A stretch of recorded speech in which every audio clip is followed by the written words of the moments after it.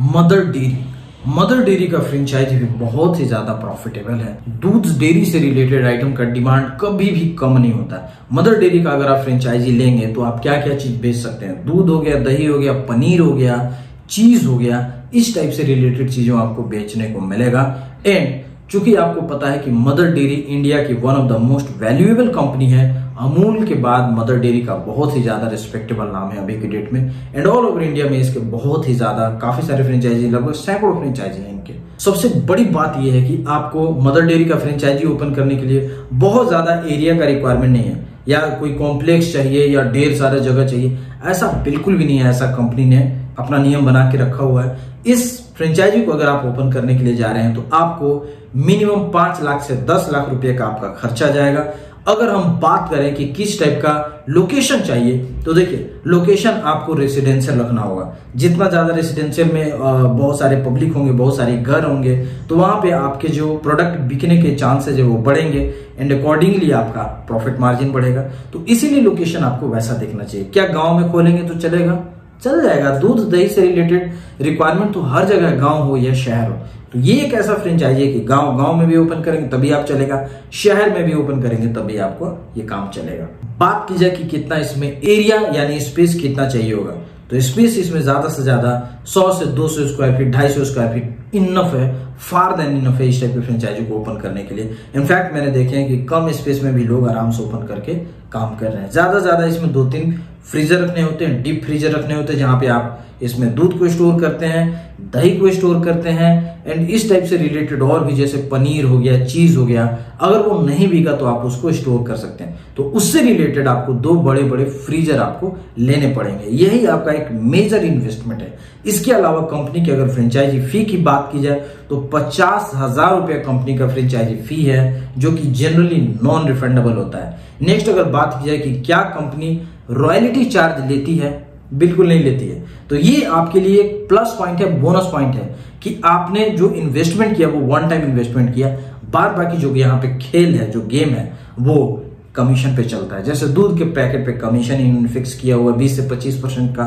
वहीं आपको दूध, दही, पनीर, जो भी इस टाइप का है तो वहाँ पे इस टाइप का एक कमीशन इन्होंने फिक्स किया हुआ है। तो जो भी दूध आप बेचेंगे तो जितना कमीशन आपका रहेगा, वही आपका प्रॉफिट है। बाद बाकी जो भी इसका कॉस्टिंग है, वो कंपनी के खाते में जाएगा। तो इसीलिए इन्होंने किसी भी टाइप का रॉयल्टी नहीं लिया है, क्योंकि यहाँ पे बेसिकली देखा जाए तो प्रॉफिट को ही शेयर किया जा रहा है एंड वो भी डायरेक्टली इसलिए यहाँ पे कोई टाइप का रॉयल्टी नहीं है, जो कि एक बहुत ही बड़ा प्लस पॉइंट है।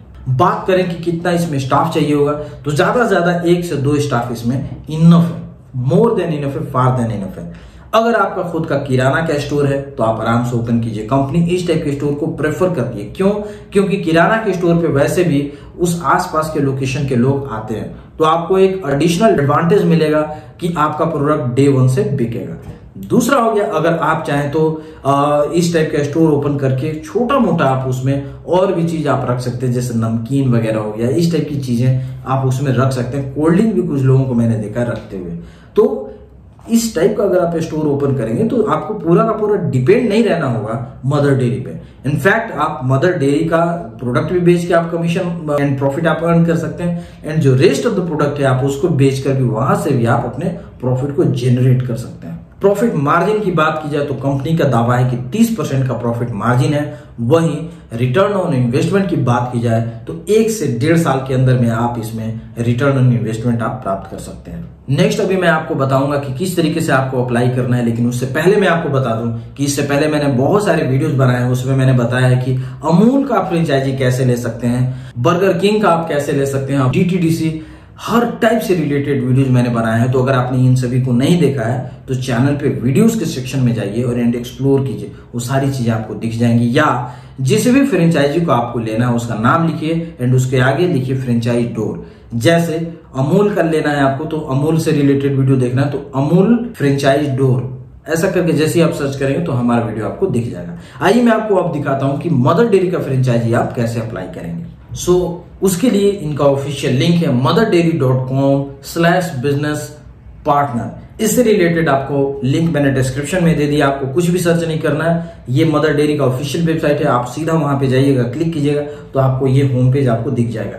या आप चाहें तो गूगल पे जाके सर्च कीजिए apply for Mother Dairy franchise and जैसे ही आप सर्च करेंगे तो यहाँ पे आप आइए सेकेंड नंबर पे दिख रहा होगा बिज़नेस पार्टनर इस पर आपको क्लिक करना है। ठीक है? तो जैसे आप इनकी वेबसाइट पर आएँगे तो यहाँ पर देखिए लिखा हुआ become a Mother Dairy partner but इससे रिलेटेड यहाँ पर कोई भी मेल इन्होंने नहीं दिया लेकिन बगल में इन्होंने दिया हुआ कॉर्पोरेट ऑफ़िस से रिलेटेड डिटेल्स नोएडा में ही ज़्यादा दूर नहीं है। तो यहाँ पर आपको ईमेल एड्रेस दिया हुआ है consumer dot services at Mother Dairy dot com या आपको जाना है कॉन्टैक्ट में एंड आवर ऑफ़िस वाले सेक्शन में आप क्लिक करेंगे तो वहाँ पर भी आपको बहुत सारे डिटेल्स आपको मिल जाएँगे। जैसे कॉर्पोरेट ऑफ़िस जैसे मैंने सर्च किया तो यहाँ पर देखिए मेल क्या मिला consumer dot services at Mother Dairy dot com तो आपको इसी पर जाकर अपने मेल ड्रॉप करने हैं। मेल में आपको क्या लिखना है? तो मेल में आपको बेसिकली लिखना है कि dear sir I am interested in taking franchise of Mother Dairy in my area आप अपने एरिया का जगह बताइए। कितना एरिया है वो बताइए। कितना आपका इनकम है वो बताइए। अपना नाम बताइए।